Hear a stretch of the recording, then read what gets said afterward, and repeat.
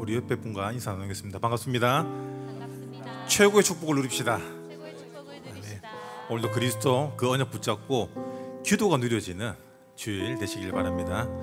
우리 모든 이름 위에 뛰어난 그 이름 신앙 고백 드리겠습니다.